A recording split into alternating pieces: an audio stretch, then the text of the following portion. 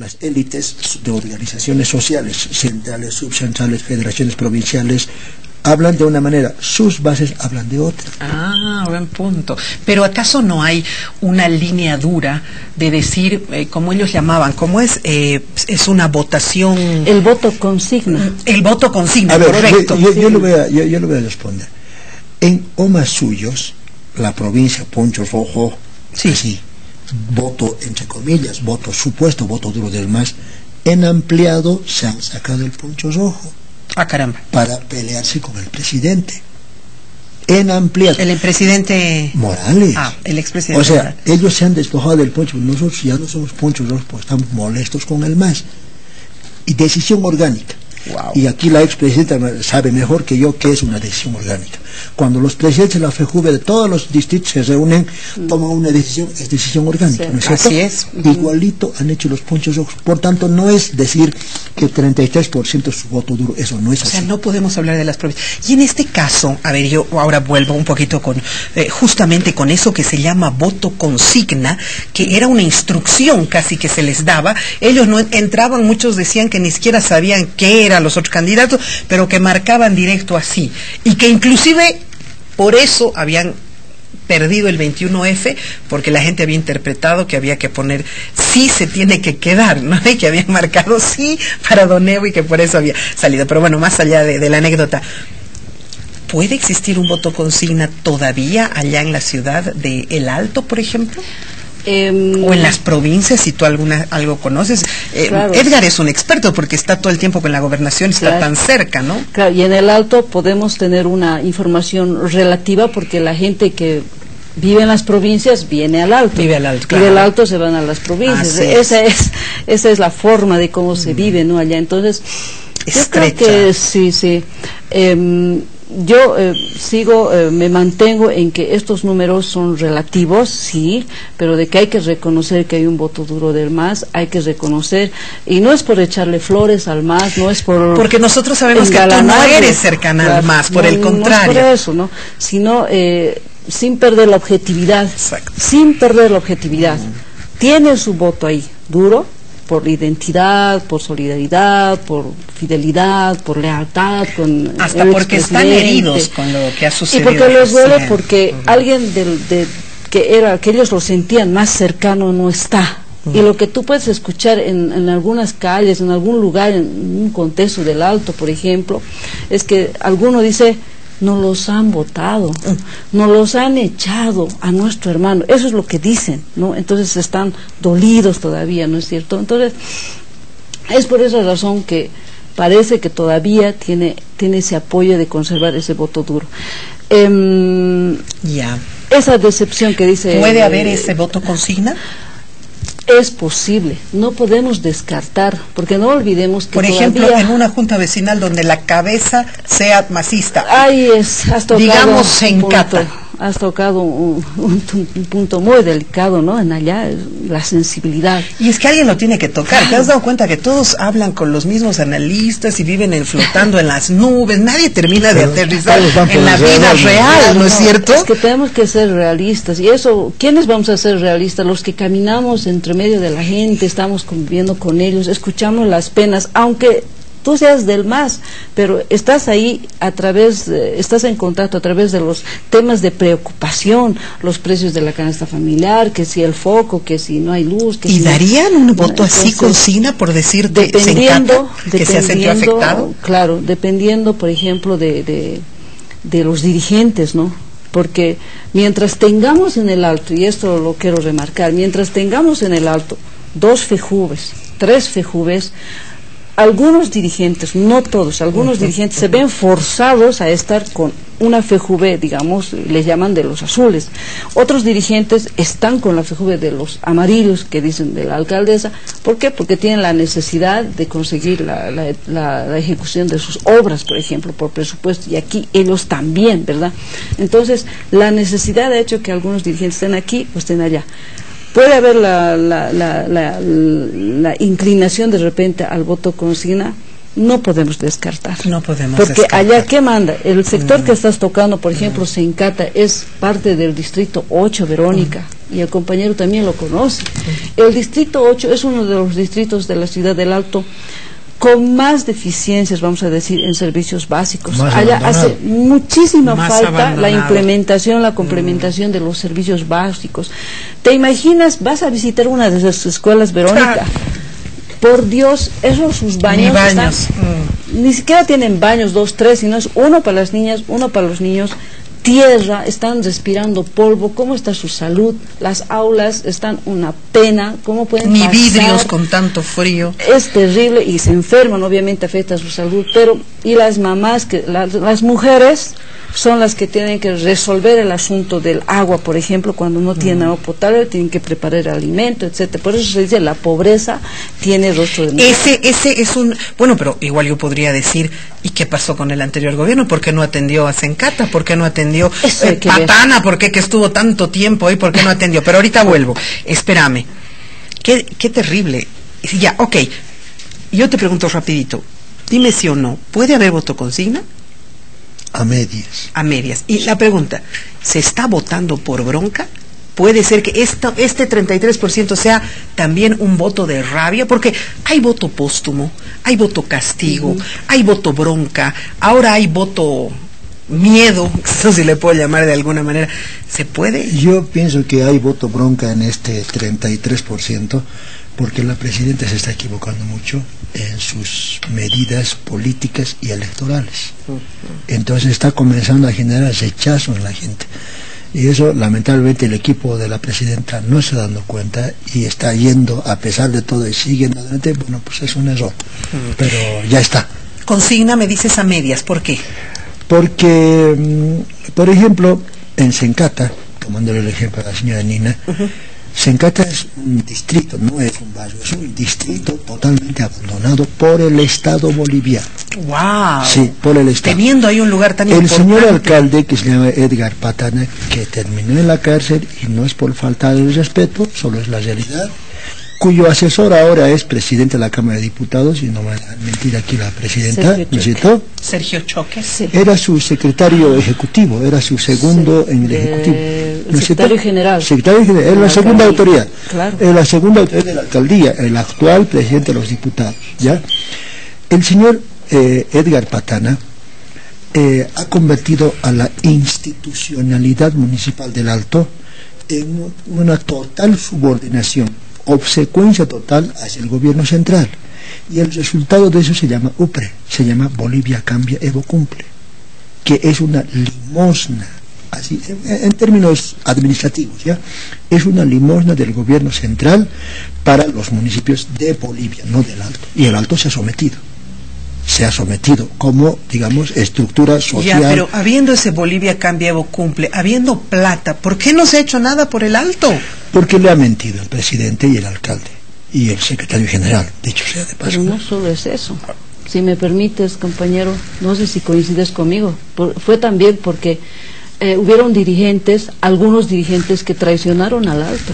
Podían Bueno. haber sido consecuentes Bueno, y pelear. Está bien, al- pero el problema es que don de Edgar Patana. ¿de dónde salió? Y usted lo sabe.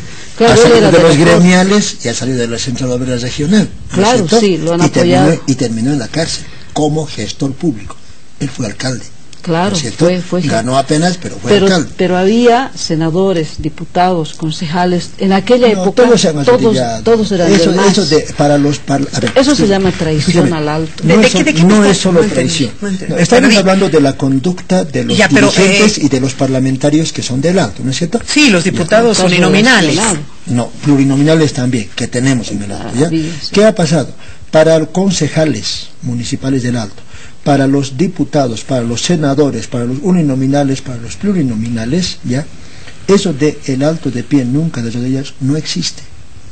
Ellos políticamente siempre han estado de pie.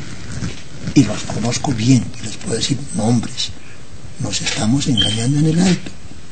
¿Cómo puede ser que tienen semejante bancada? Cuatro uninominales. Sí, pues, Los cuatro, los las cuatro. cuatro Y volvieron a ganar la última elección.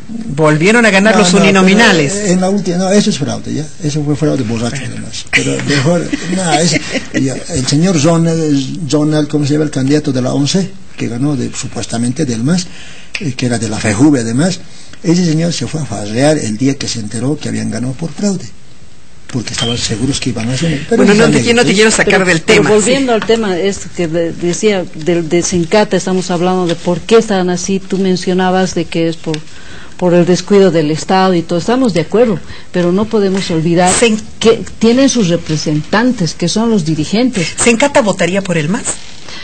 No podríamos eh, decir que sí o que no, porque es relativo. Eh, con los últimos acontecimientos del año pasado, y claro, siempre vamos a presentar nuestra solidaridad con todas esas familias, especialmente de los que han perdido a sus familiares, nos duele mucho y nos ha dejado con impotencia. Pero ¿qué hace que algunos, algunos sectores del Alto, como el del 8, porque el Sencata es del distrito 8, ya hemos dicho, el sector, uno de los sectores más, descuidados, abandonados, etcétera, y con fuerte crecimiento poblacional. ¿Qué hace que la gente se mueva es la necesidad.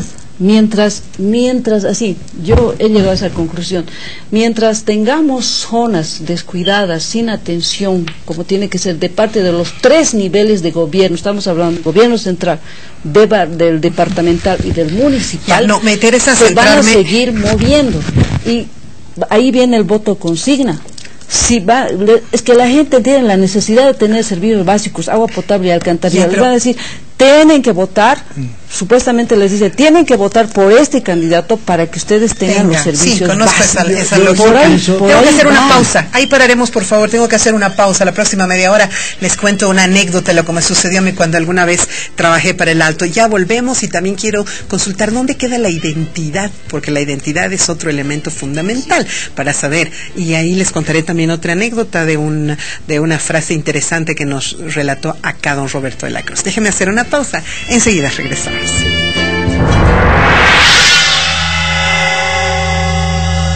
El actual gobierno anuncia nuevas medidas para combatir el coronavirus. Se dispone horario continuo para el sector público y privado. Quedan prohibidas las concentraciones masivas, como las fiestas, bares y otros. Se eliminan los aranceles para la importación de medicamentos y donaciones. Se prohíbe el ingreso de viajeros de Europa, Reino Unido, Irlanda e Irán. Los bolivianos que vuelvan al país se someterán a los protocolos de la Organización Mundial de la Salud. Estamos trabajando para proteger a todas las familias bolivianas. Panel y debate femenino por primera vez en la historia de la televisión boliviana, demostrando que el mensaje de las mujeres es trascendente para el crecimiento de un país ahora son las protagonistas principales a todo nivel. Misión cumplida. Ahora estamos actualizando.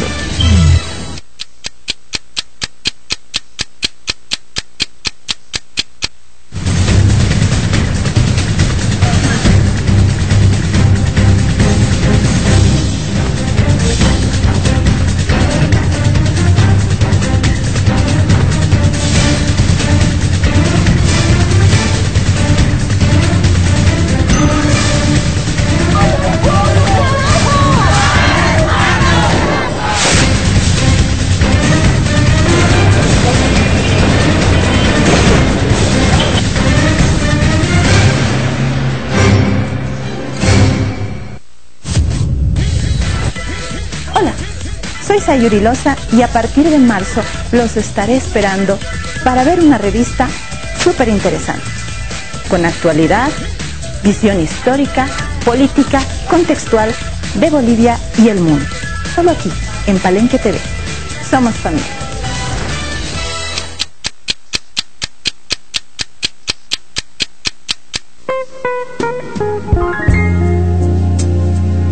Bueno, yo diría que es importante tener siempre eh, entusiasmo por la vida, porque cualquiera sea nuestra edad, si uno sabe enfocar positivamente su vida, en toda época uno encuentra maravilla y belleza.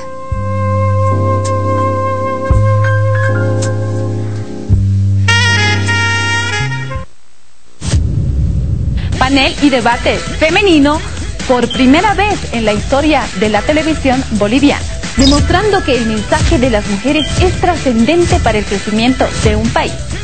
Ahora son las protagonistas principales a todo nivel. Misión cumplida. Ahora estamos actualizando.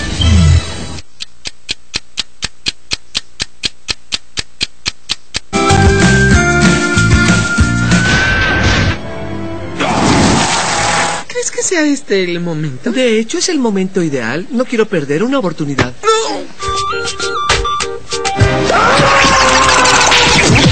El comité de la Casa Blanca saludó al primer caballo ministro y yo hago el trenecito y...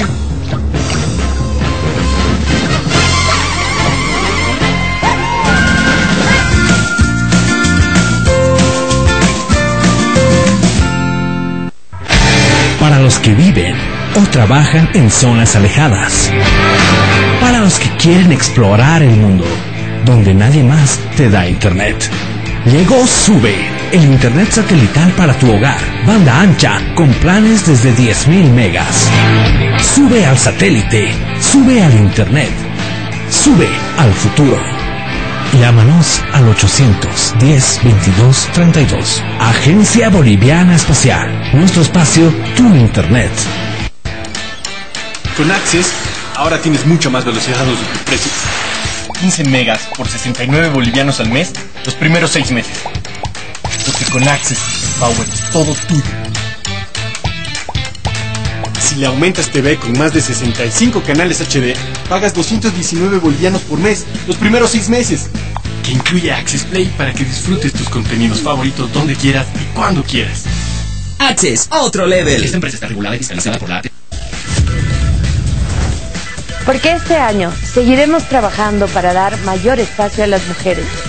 Trabajaremos y las acompañaremos en su lucha y reivindicaremos los derechos de las mujeres. Porque en Palenque TV somos familia.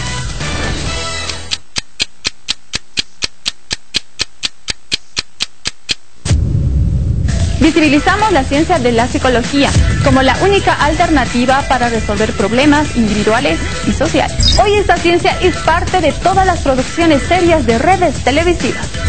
Misión cumplida. Ahora estamos actualizando.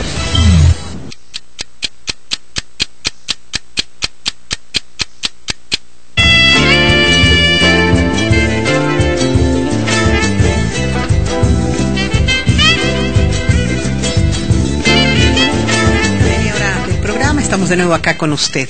Mucha gente reniega, protesta, no cree en ese 3 pun- 33.3% del señor Luis Arce Catacora.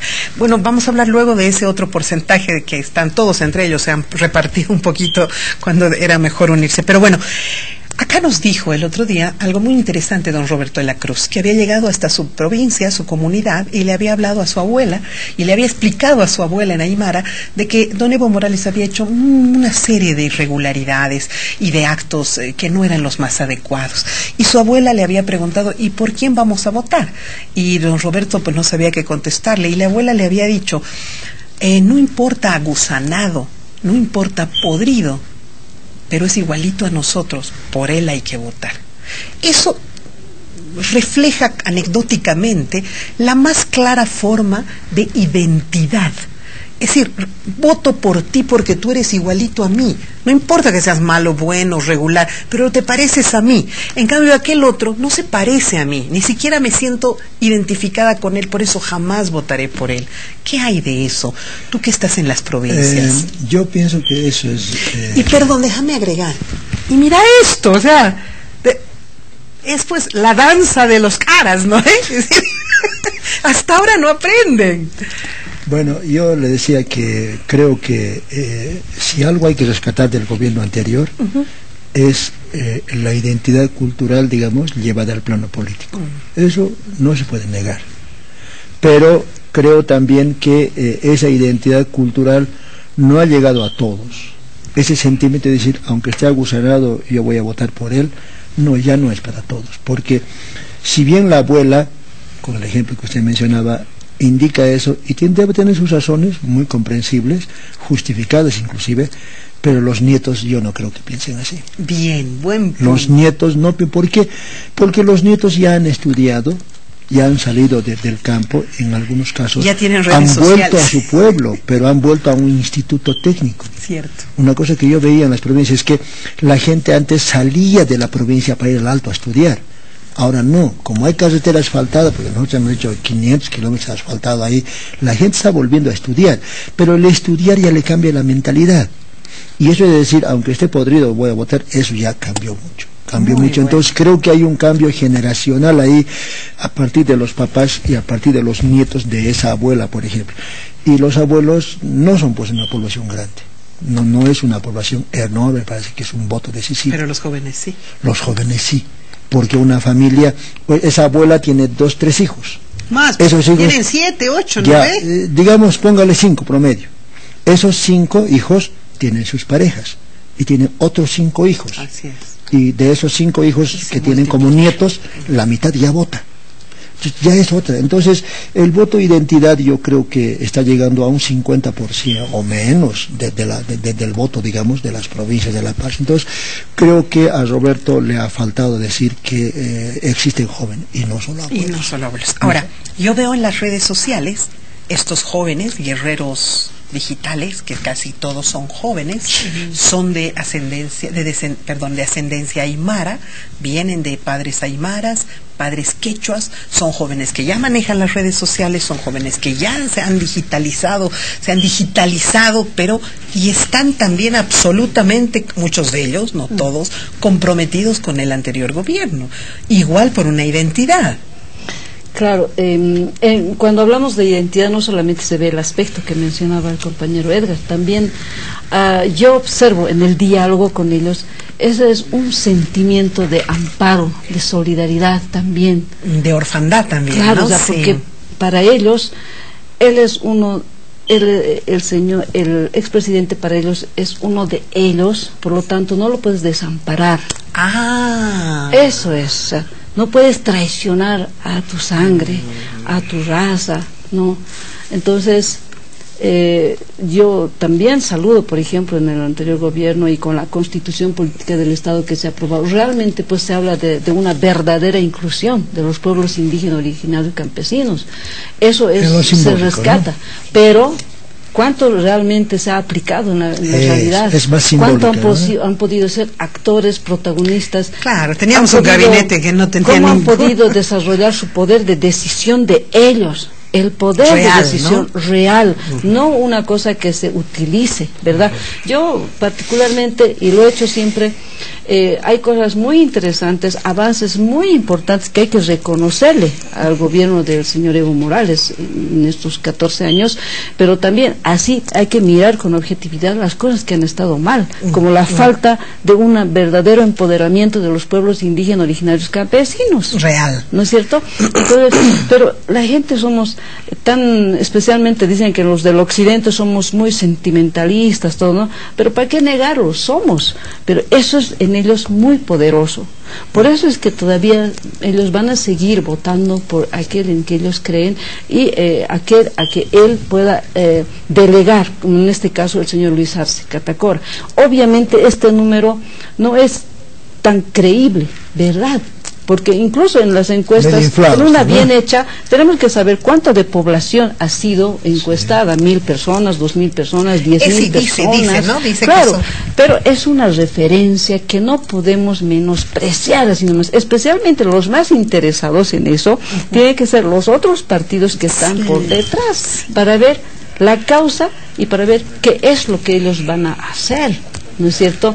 Y cuando, y, y voy a retomar la consigna, para cualquier nivel de gobierno y para cualquier partido de gobierno que esté en, en estos lugares, mientras la población no sea atendida en sus necesidades, en las diversas necesidades que hay, entonces pues em, habrá el riesgo del voto consigna con el que esté.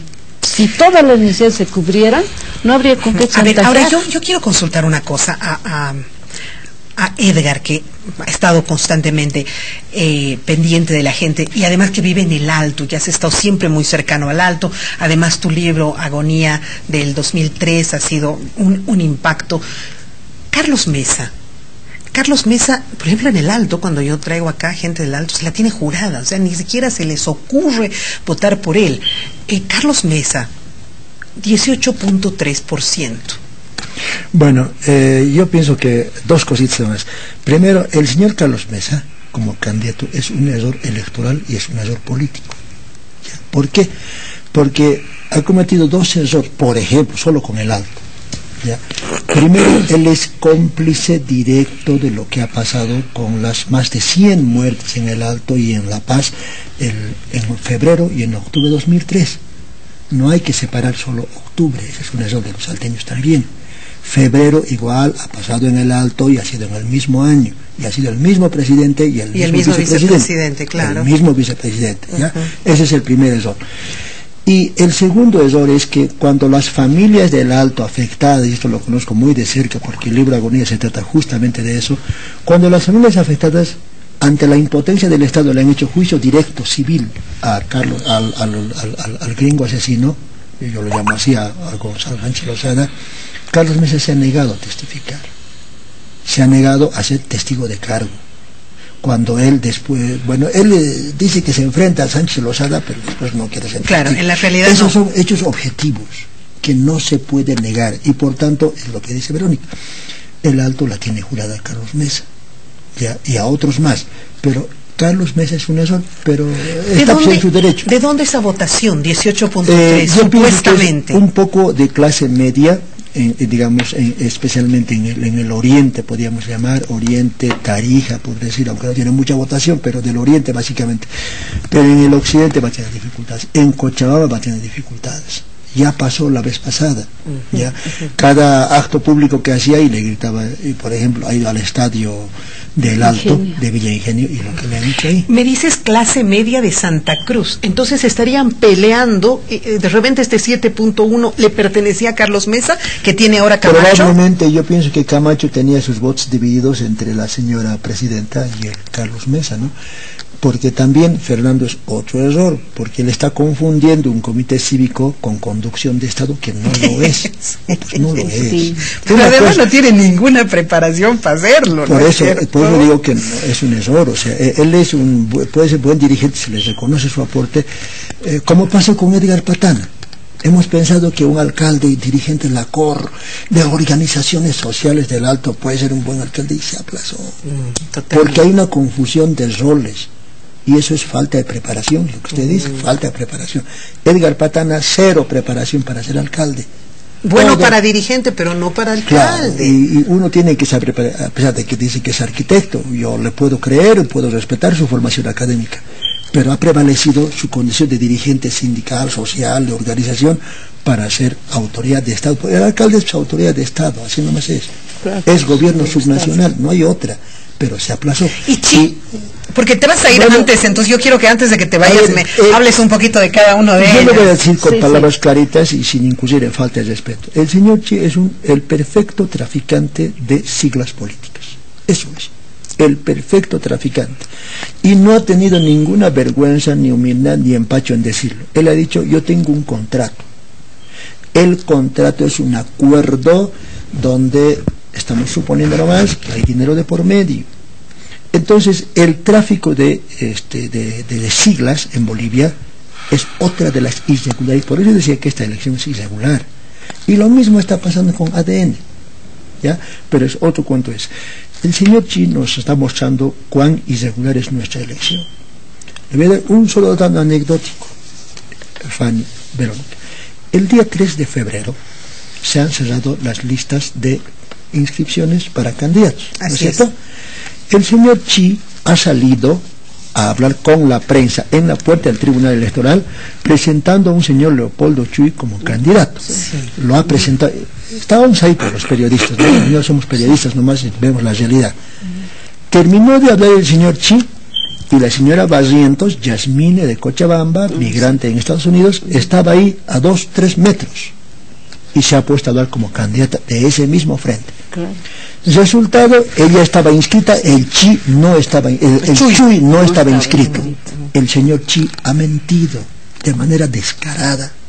Eso se llama mentira frontal. Descarada, porque él lo ha presentado como su candidato. Y resulta que la señora Yasmine había sido, había estado registrada.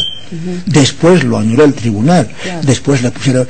El Chi es la vergüenza actual de la política boliviana en el siglo XXI. Sí, ese y el Frente para la Victoria, que es con una Claro, lo- los dos- los dos son- ya da, da- sí, sí, da vergüenza. Sí, es- ¿no? Por eso es irregular esta elección y el tribunal no dice nada. No dice nada. O sea, el tribunal yo pienso que tiene dos, dos debilidades. y con esto yo quiero concluir. Una debilidad es institucional de que está repitiendo errores del tribunal fraudulento del año pasado. Y el otro error que nadie está diciendo, yo lo voy a decir aquí clarito, por favor, hay uno de los siete vocales, ficha de Juan Ramón Quintana. Ay, Dios. Su apellido es Atawich, lo estoy diciendo clarito también. Ellos están moviendo por debajo todo y no podría, por lo menos yo, no podría descartar otro fraude electoral en la elección de mayo. Uy, Dios mío. Qué, qué, qué, qué triste sería esa, esa, estamos dando nombres, estamos dando apellidos nuestros. Yo acostumbro a hacer estas cosas para no estar entrando en especulación. Yo el año pasado, en junio, he anticipado el fraude en público, he escrito, se ha publicado en los He dado indicadores de fraude, nadie me escuchó. ¿Y me dices que ahora puede suceder lo mismo? Yo no descartaría. El más, el más tiene plata, tiene mucha plata, perdónenme, pero se ha robado mucha plata, se ha llevado el extranjero y una parte lo han detectado, lo han sacado, pero no es todo. Y Juan Ramón no está quieto, no está quieto. Y su ficha, el que trabajaba en el Ministerio de la Presidencia con él, ahora es honorable vocal del Tribunal Supremo Electoral de Bolivia. Ay, qué cosas nos enteramos. Este Edgarito nos viene a contar muchas cosas muy fuertes. Sí. Este tiene que escapar Edgarito porque te- o te puedes quedar. No, tengo que ir al banco, esto también hay que saberlo, por favor. Los bancos han restringido horarios y no, pues ayer ya me, me atrasé porque no sabía de ese cambio. Y a las doce y media de ahí, pues hay que estar. Ok, Edgarito, que te Muchas vaya muy gracias, bien. Muchas gracias, gracias, a ti señora. por haber estado con nosotros. Muchísimas gracias. Adelante, por favor. Ahora, Nan, mira, yo acabo de sumar todo esto que tenemos acá y me quedo sorprendida porque entre toda esa oposición, quietito, por favor, en toda esa oposición estaríamos sumando 47.8 en toda la oposición, digamos, ah, a lo que era el, el movimiento al socialismo. Si lo sumamos a Mesa, a Yanine, a Fernando Camacho, a Chu y a Tuto, porque el señor Feliciano Mamani, bueno, no, no sé a dónde responde, pero si lo sumamos a todos tenemos un 47.8%. ¿Qué te parece? O sea, 10 puntos sobre ese 33.3 que podrían perfectamente darle fuerza a cualquiera, ya sea Yanine, a quien, a quien sea. Has sumado bien. no. No habría Claro. ni siquiera necesidad de segunda vuelta. No, ya no habría porque es más del 10%. Así ¿verdad? es. Entonces, como alguien diría- dijera, no, pues la unión hace la fuerza, pero ¿qué es lo que estamos viendo ahora? O sea, hay una división dentro de lo que se llamaba lo- los opositores. Yo creo que... mm, Bueno, siempre han estado así, ¿no? Claro. Siempre han estado así. Esto no es nuevo. Sí, de repente, no porque sean malos, digamos, no, no porque sean malos, pero tal vez debieran abandonar, mm, bajarse, ¿no? De estas elecciones nacionales, por ejemplo, Pambol y el ADN. No es porque sean malos, sino es porque no tienen las posibilidades reales de una competencia electoral Bueno, y nacional. Camacho tiene 7%. Es Claro, un pero claro, ha rebajado también, Sigue ¿verdad? bajando, ¿no? ha, ha seguido bajando, porque estos números son nacionales. Por ejemplo, hace un instante con Edgar hablábamos de Santa Cruz, por ejemplo. En Santa Cruz, entre Yanine Áñez y Camacho, la que lleva a la delantera es Yanine. ¿Quién diría, no? No, porque se pensaba que Camacho iba a capitalizar, ¿verdad? Porque tenía una gran barra como La comité representación cívico. del comité cívico, por claro, supuesto. Claro, Ujú. entonces, eso entre paréntesis quiero decir esto también, Verónica. O sea, el hecho de, de haber sido dirigentes de organizaciones sociales no descarta la posibilidad de una candidatura posterior. Lo malo es que cuando están en el cargo, ¿no? Ahí es donde se- ahí se incorporan a un partido político y eso es lo que lo contamina, marean, digamos, pues. ese derecho, digamos, ¿no? Porque después lo pueden hacer. Pero yo te digo, eh, Verónica, eh, creo que esos dos partidos deberían dejar, o sea, humildemente y con todo respeto se los digo, ¿no? Dejar la- la- las elecciones nacionales para que haya una concentración de repente de los votos ya en los partidos, en los frentes más serios. Mira cómo hizo, por ejemplo, este aquí, ¿no? Patsy, que se acaba de ir, Sí. eh, Edgar, pero mira, por ejemplo, Patsy tenía, ah, pareciera una votación que era entre cuatro o cinco, tal vez Claro. menos, pero ellos decidieron retirarse para continuar. A la cabeza de este amigo eh, de Tarija, también decidió retirarse. Se retiró también UCS, que estaba yendo con... Cárdenas. Sí, Víctor Hugo Cárdenas, se retiraron. Entonces ahí nos damos cuenta que hay gente que eh, sólida, inteligente eh, y patriota que dice, no pues, o sea, ¿para qué voy a ir a quitar un poquito de votos y más bien que se divida? Pero hay otros Pero que no. es que habrían dos razones, digamos. Uno, como tú dices, ¿no?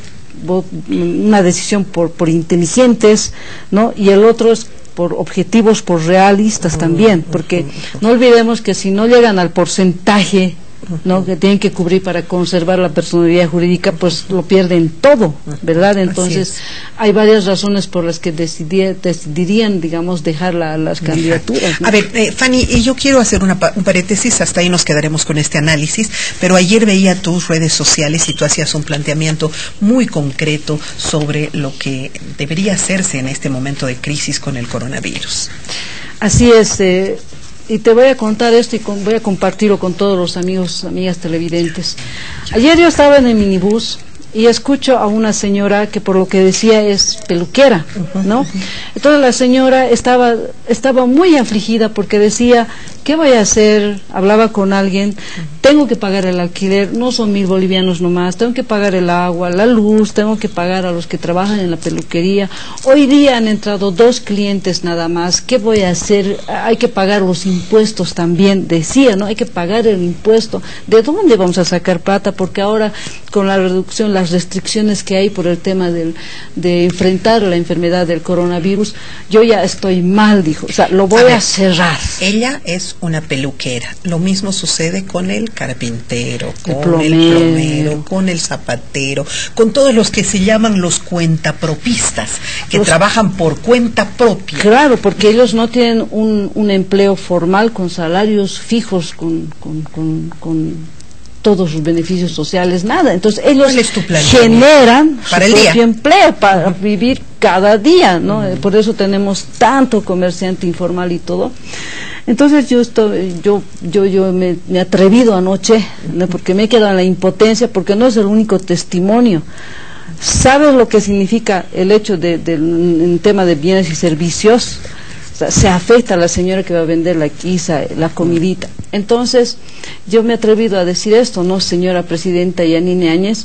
Que, se, que haya una reprogramación de las deudas, de los pagos a los bancos eh, para los micros, pequeños y media- medianos prestatarios, porque ¿de dónde van a sacar plata ahora para pagar al banco? El banco no te perdona nada, el banco gana de lo que te presta la plata, de ese, de ese movimiento. Y gana más si te atrasas. Y, y si te atrasas, gana más, pero tú como ciudadano estás, estás siendo asfixiado. Ese es tu planteamiento, ese es tu el- pedido a la claro, y presidenta. la flexibilización también al pago de los impuestos al fisco, por Así Dios, es. o sea, eso es otra cosa que está asfixiando también. Encima de todo aquello, eh, no hemos tenido, pues, estos sectores microempresarios y demás, no han tenido la protección, el impulso a la producción nacional, por ejemplo. Entonces, hay otros problemas más y ahora se está el efecto del coronavirus, yo lo decía, ¿no? Eh, se saluda ya las políticas públicas que están aplicando estas medidas para poder contrarrestar, ¿no? La- eh, esta amenaza del coronavirus, pero estamos el, el Estado, el gobierno como tal, está mirando los bolsillos del pueblo, de la gente, por eso decía Falta una segunda, bolsillos, un segundo decreto agujeros, que pueda no. Apoyar a la población, como Claro. sucedió en Francia. En Francia el presidente dijo se paralizan los los eh, impuestos, se paralizan los alquileres, se paraliza el cobro de luz, agua y teléfono, servicios básicos, se paraliza por supuesto el tema bancario. No son ejemplos que de repente deberíamos tomar y que tú lo has presentado en tus redes sociales. ¿Cómo te encuentra la gente en tus redes sociales? Ah, con Fanny Nina. Con doble N, Y. Una sola N, Y, Fanny Nina. Y bueno, ahí estamos compartiendo estos criterios porque son, son puntos de vista personales, porque nos llenan de impotencia y de dolor. Pero eres un poco el clamor y la voz de mucha gente de la ciudad del Alto Oh, sí, que tú voz. trasladas, digamos, a las redes y ahora al programa para que la gente sepa Sí, qué Verónica, sintiendo. sí. Muchas gracias, Fanny. Ha sido un gusto tenerte en No, el a programa. ti las gracias y estoy para servirles. De verdad que, que no nos ataque esta sombra tan grande de, del coronavirus y que nuestro gobierno también vele por los bolsillos de este pueblo tan trabajador y tan humilde que estamos ahí. ¿no? Así es, y que seguimos adelante. Muchísimas gracias, como siempre, por la sintonía. Nosotros nos vamos. Gracias, será hasta el día de mañana, si Dios así lo permite. Este, la medida todavía es muy, muy, muy suave. Deberíamos estar en una cuarentena absoluta y esa sería la única forma de paralizar esto. Con medidas alternativas como el tema de los bancos, de servicios básicos, Pero ojo, este todo lo que la gente está haciendo en las mañanas, apurada y aglomerada, porque en la tarde no va a haber, está generando una multiplicación del virus. Un abrazo, hasta mañana.